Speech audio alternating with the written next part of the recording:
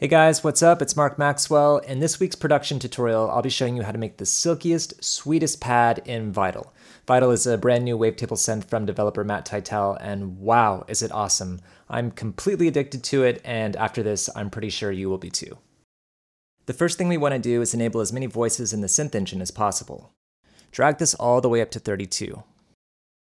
Start by going to Oscillator 1, and from the drop down select Squish Flange,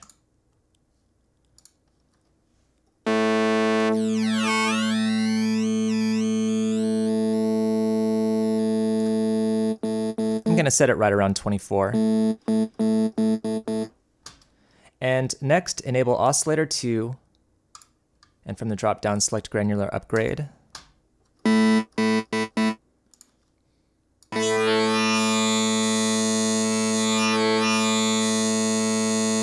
I want to get some nice hiss from that wavetable, so I'm going to position that around frame 164. When I say frames, I'm just referring to the position of the wavetable. So if I go into the 3D mode, you can see exactly what I'm talking about. So when I scroll up or down through the frames, it'll show the position.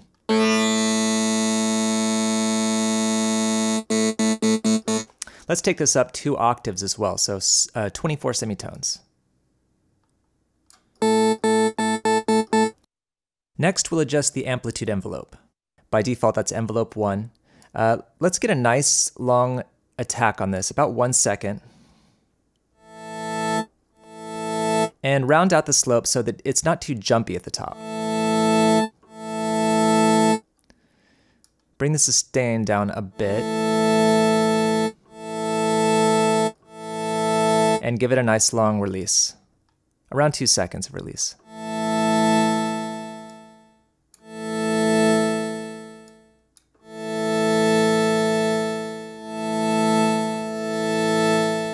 Okay, great. Next, uh, let's get some unison voices going for both wavetables. So for wavetable 1, let's do two voices. Keep it subtle, and also keep the detune subtle as well, around 5 or 6%. And since Oscillator 2 will be carrying a lot of texture, I want more voices to widen the scope of that texture. So let's do four voices, and we'll set that detune maybe around 8%.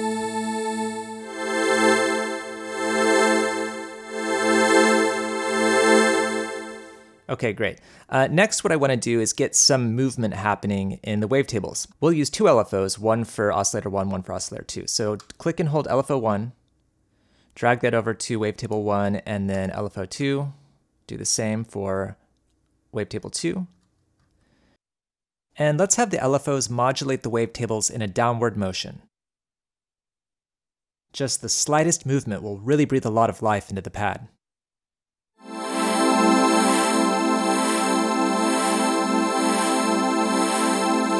And then I want to offset the timing on these LFOs so they're not doing exactly the same thing.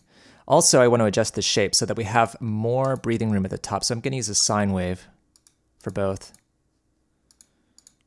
And for LFO1, let's make this uh, a little bit more unpredictable. We'll do a half note dotted, so three beats.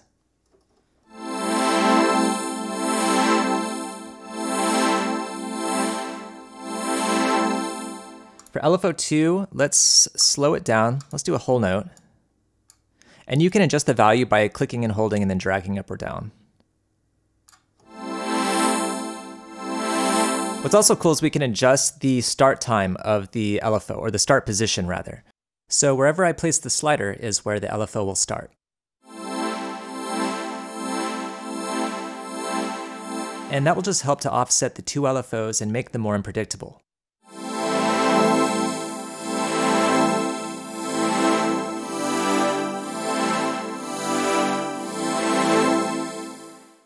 So the next step is to enable our filters, and we're going to use filters here mostly to dim the sound, add more warmth, and remove all the harsh frequencies. To start, go ahead and disable oscillator 2. We just want to hear oscillator 1 right now. We're going to use a basic low-pass filter. Uh, you can choose the filters here in this menu. We're going to use a 24 decibel slope, and take the resonance all the way down to zero. Maybe set it somewhere around 10, 11 semitones on that. So we just have a nice warm tone there, and you can still hear the movement in the wavetable as well. Do you hear that? Just very subtle. So go ahead and disable that one and enable oscillator 2. We're going to use a different type of filter here. We'll be using the analog notch spread, which is basically a bandpass filter. And that's the sort of movement I want there on that one. Just a subtle sweep. So I'm actually going to use a, a second envelope for that. So click and hold envelope 2, drag that to the cutoff parameter for filter 2, and let's create an envelope that's really similar to envelope one. It doesn't have to be exactly the same, but a slow attack, a slightly softened sustain, and a long release time.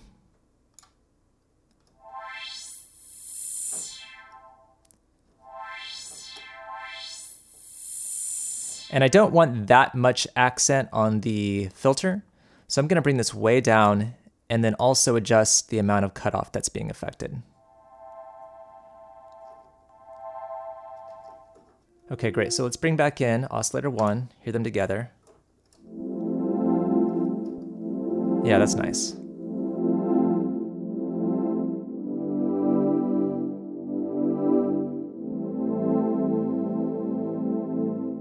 So next, let's go into the effects section and do some post-processing.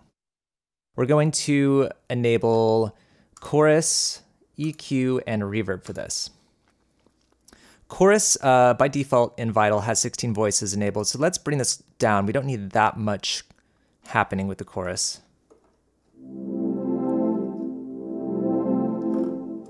And we'll speed it up a bit. We'll do like a double whole note dotted.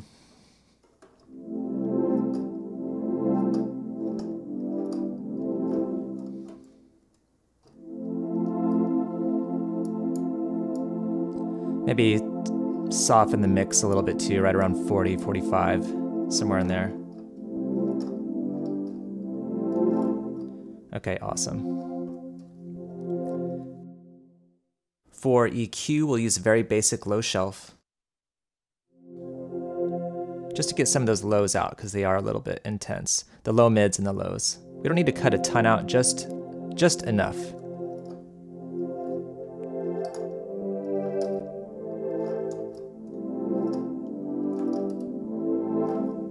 Okay, and for the reverb, I want a nice long reverb tail so that it really adds that wash to the release. So let's bring the time up to around six or seven seconds.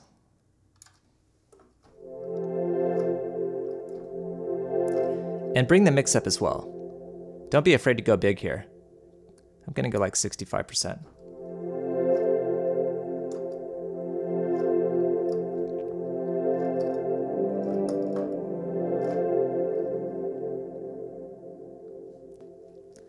And we'll also add just a bit of pre-delay to the reverb.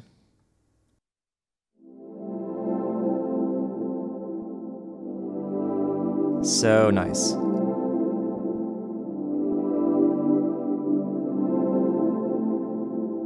And that's it, our pad is ready to go. Let's hear it back with the track now to see if it's adding that depth and ambience I'm looking for. Peace.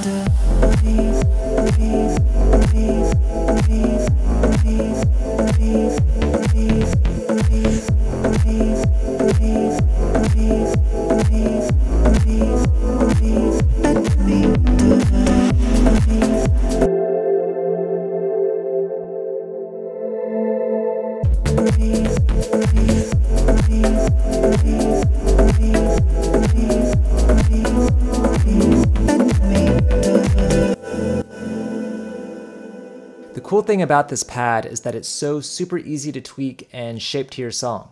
You could open up the filters a bit more, or adjust the wavetable modulation, or even add some light phaser to the effects chain. The possibilities are endless. If you have any questions or comments, please post them below. I'll do my best to get back to you ASAP. And if you're down for more videos like this one, make sure to hit the like button and subscribe. Thanks so much. I'll see you soon.